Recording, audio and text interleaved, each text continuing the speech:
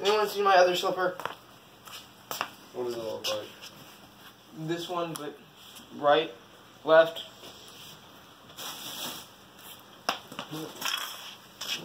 Oh, it's not down there. Ah. Alright. How's there so much stuff under your bed?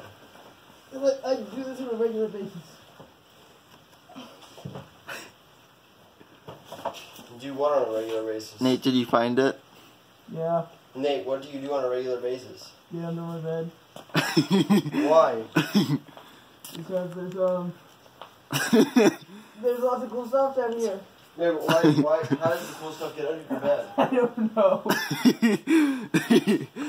It just kind of like appears. It runs away from me. Yeah, my glasses. And my altar server book. And a tape measure. And a cube. And a Jesus. Guys, I found Jesus. Okay. I'm, I'm, I'm, I'm, I'm a little stuck. You're stuck. It, it's a little bit. Alright.